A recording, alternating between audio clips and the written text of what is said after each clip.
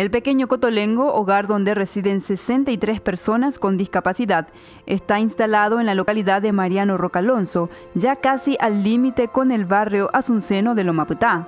La obra es de Don Luis Orione, un religioso italiano que instaló el primer hogar en su país luego de la Primera Guerra Mundial para albergar a personas lisiadas o afectadas por el conflicto bélico. El hogar alberga personas con discapacidad que llegaron hasta el lugar tras haber aguardado en una lista de espera.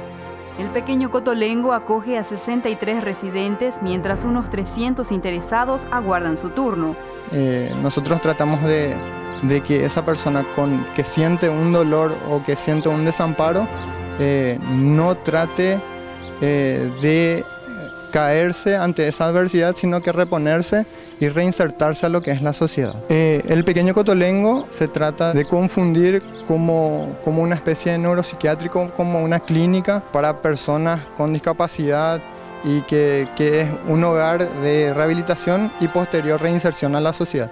El cotolengo eh, no busca ser un neuropsiquiátrico, sino que más bien eh, busca ser la casa de estas personas que no tienen otro techo y este, como que es su hogar eh, no tienen dónde ir, no tienen otro lugar, no conocieron de otro seno familiar, entonces este es su hogar, esta es su familia. Y dentro de todo, entre, entre la colaboración de empleados, voluntarios y benefactores, este, tratamos de darles esa vida digna.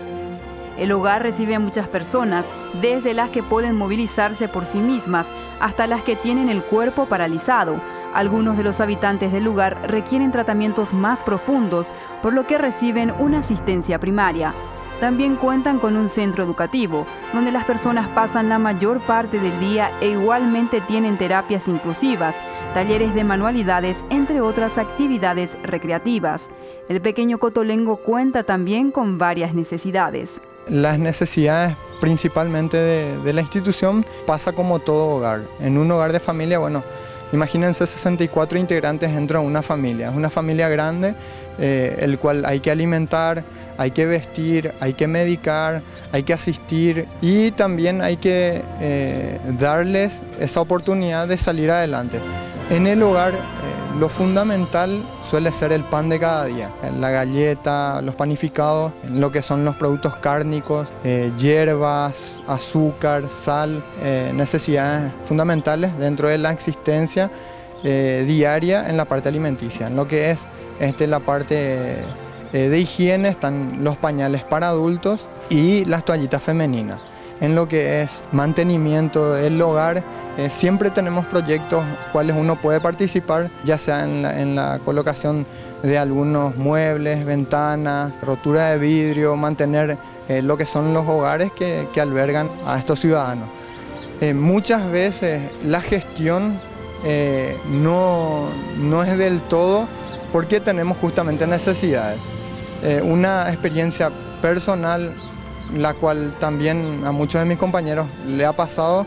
Eh, a mí me pasó que, bueno, como que, estamos pocos dentro del, trabajo o del servicio de atención, ya que eh, dependemos de los ingresos de la caridad. El costo mensual para mantener a las personas en el pequeño Cotolengo oscila los 120 millones de guaraníes, destinados a la limpieza, el mantenimiento, la comida, los servicios básicos y el salario de los 26 trabajadores. La obra ofrece todo lo que está a su alcance. No obstante, la asistencia médica para estas personas es urgente. En el lugar comparten personas con diferentes tipos de dolencia que merecen y requieren atención médica especializada. Algunos de ellos permanecen en sus habitaciones sin contacto con familiar alguno, ya que sus propios allegados los dejaron abandonados en el lugar. Los cuidados para enfermos mentales deben ser proporcionados por personas capacitadas para el efecto, según lo establece la propia Organización Mundial de la Salud. Luego de pasar años en el lugar, solo les espera una digna sepultura en el patio del pequeño Cotolengo, que cuenta con un cementerio propio, lejos de sus seres queridos que alguna vez los vieron nacer.